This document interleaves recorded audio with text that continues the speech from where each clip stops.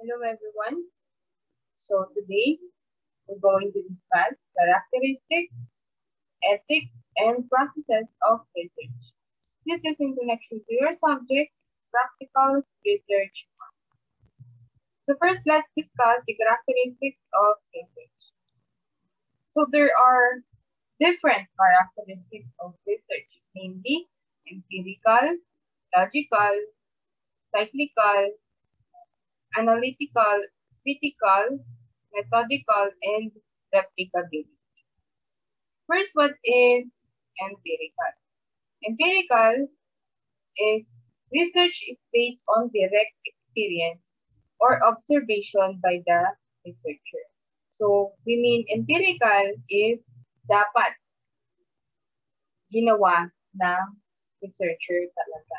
He conducted it, he observed it, plotted the questionnaire, he interpreted the data and delivered. Logical. Logical is research is based on valid procedures and principles. So, dapat may sense.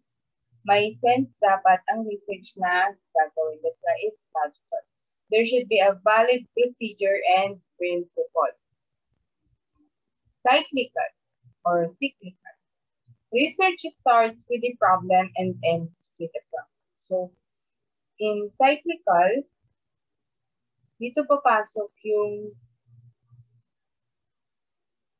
the first step in making research, which is knowing a research problem.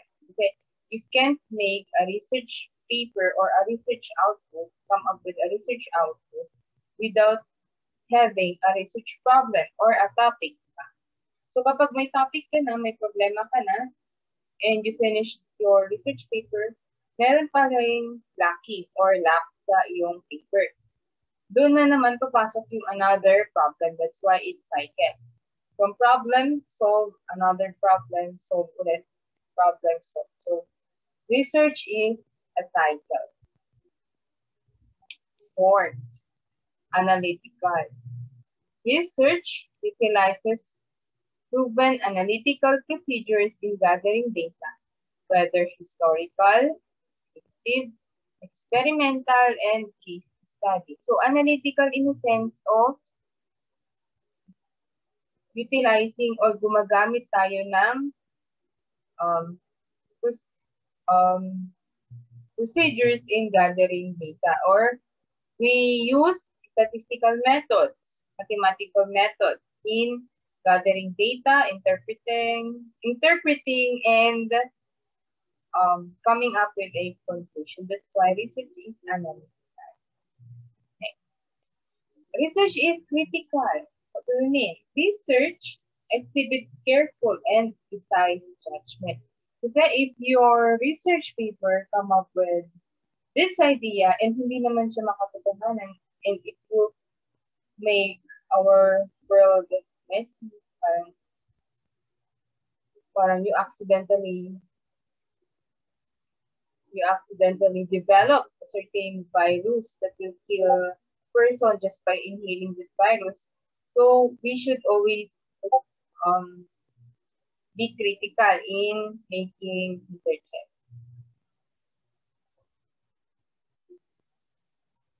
Next, methodical. Methodical is research is conducted in a methodical manner without bias using systematic methods and procedures. So in making research, we are following certain procedures. So first, we need to know our research topic, our research topic and problem, plan. We should do the chapter 1, chapter 2, chapter 3, chapter 4, and chapter 5. And that is how research works. We, we follow a certain pattern or method. Replicability. Research design and procedures are repeated to enable the researcher to arrive at valid and conclusive results. So we mean replicability pwede mo ulitin. For example, I made a certain research in a certain area. You can also adapt my research by means of sa ibang lugar. So, So, for example, my research is all about the tardiness of grade 12 students in Santa Maria National High School. So, dahil nakita mo na maganda pala yung ating research, you adopted it and applied it to a certain school. Pwede yun. From Santa Maria to San Sebastian, you can do that. So, the research is replicable. Pwede mauli. So, ano naman, from the characteristics of research, ano naman ang mga characteristics of researcher naman tayo, the person? Let's discuss. Number one is intellectual curiosity. Kung ano ang problem sa situation na yun. Or ang mga bagay-bagay. For example, what's the main problem now? Ano ba ang mga nararanasan ng mga estudyante? ano ba yung mga nakaka-apekto sa mga problema yun ng mga estudyante. So that's how a researcher dapat mag-tip. Next, prudent.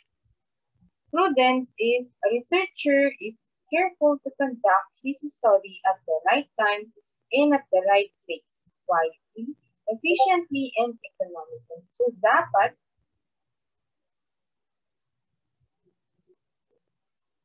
dapat dapat alam ng isang researcher na tamang panahon dapat ito to conduct this study. And dapat hindi siya masyadong gumastos or dapat kung gagawin mo niya ang isang research na to at gagasto siya of a certain amount, is it worth it? Like that. That is prudence. Next one, healthy criticism.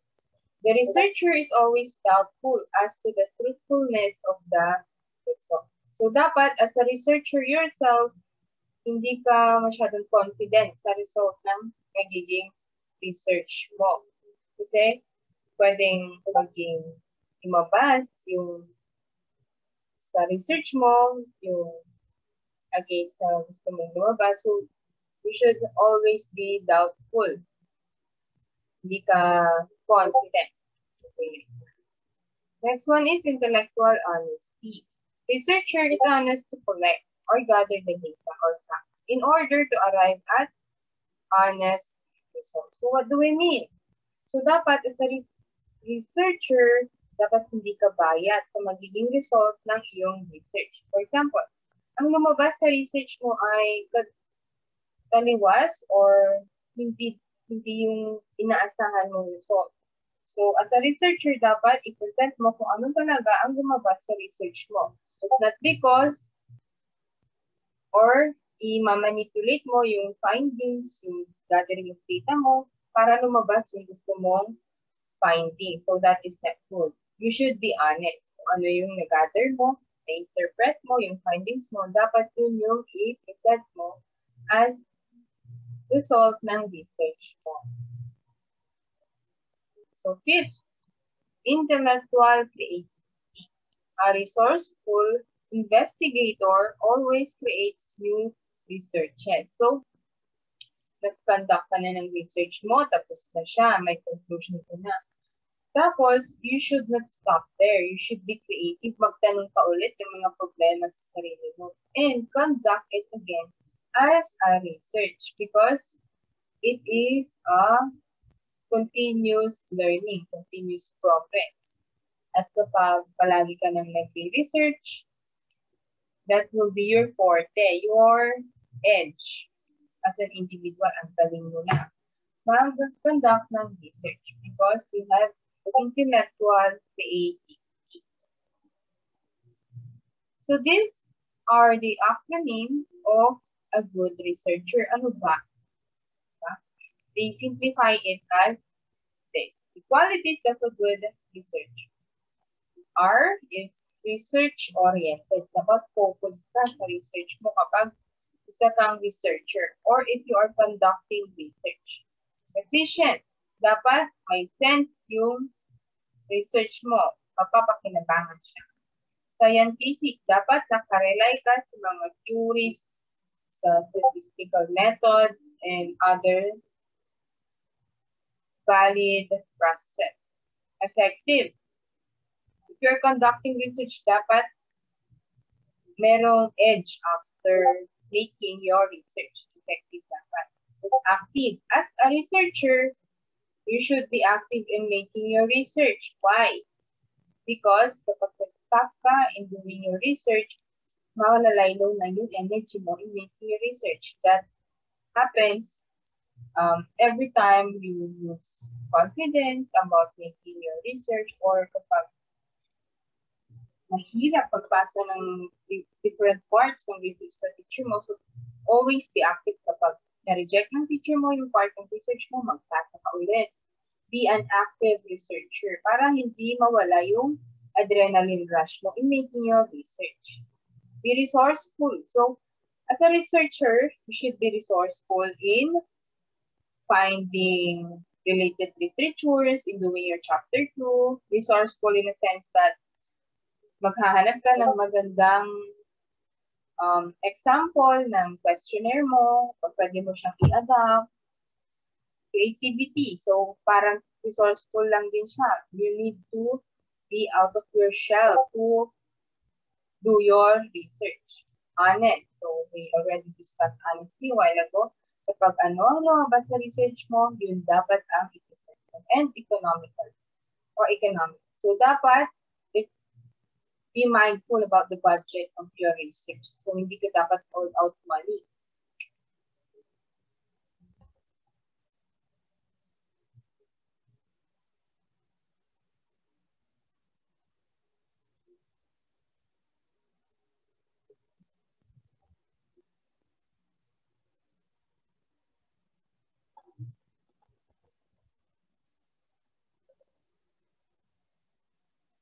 So let's now proceed to the classification of research. So there are three classifications of research.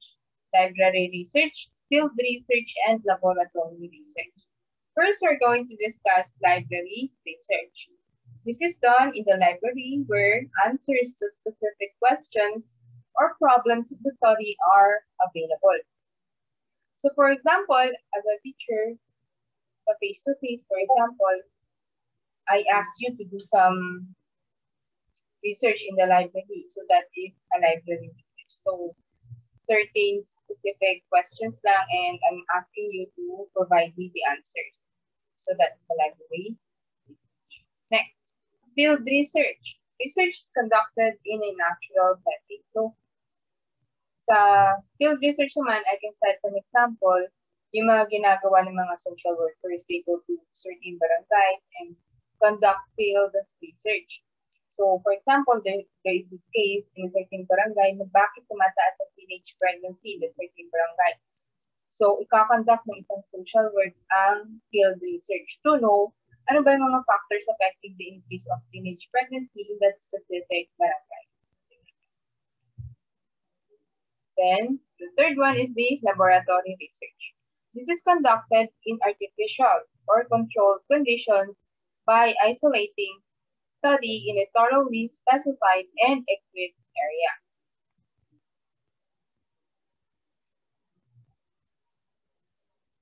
So laboratory research are done in facilities kapag sa mga malalaking company, sa pharmaceutical, sa DOH, sa DAR, President. So laboratories naman kapag laboratory research. They say this is also called experimental research.